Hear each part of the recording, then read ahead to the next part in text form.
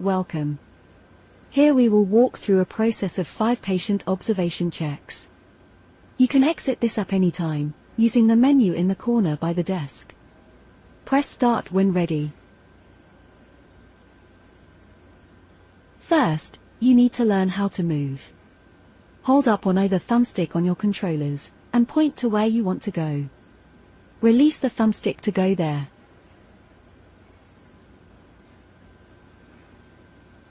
Great, now let's pick up the pulse oximeter.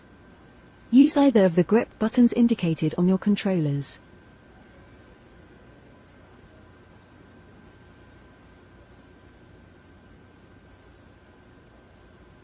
Use the grip button on your controller to pick up the pulse oximeter.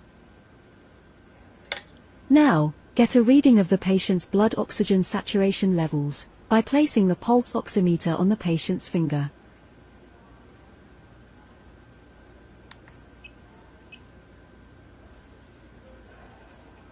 This patient has normal blood oxygen levels. Place the pulse oximeter back on the table.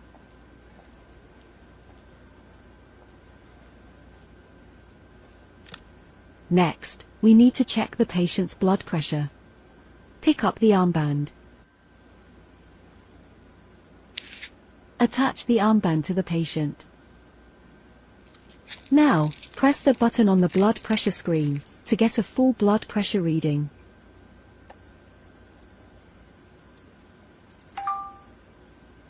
This patient's blood pressure is normal at 115 systolic pressure and a diastolic pressure of 74. Place the armband back on the stand.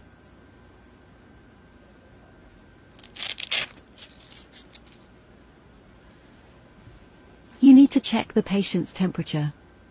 Now, pick up the non-contact thermometer.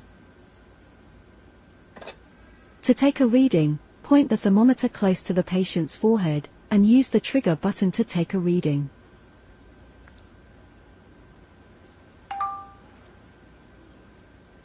The patient's temperature is within the normal range.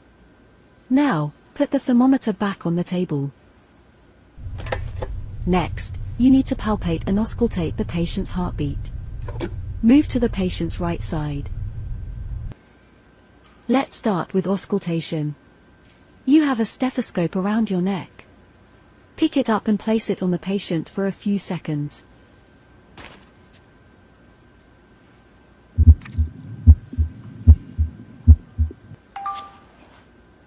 Great. The final step is to palpate for the rate, rhythm, and amplitude of the heart. Let go of your stethoscope. Now, place your first and second finger on the patient's neck, over their carotid artery until the timer goes green.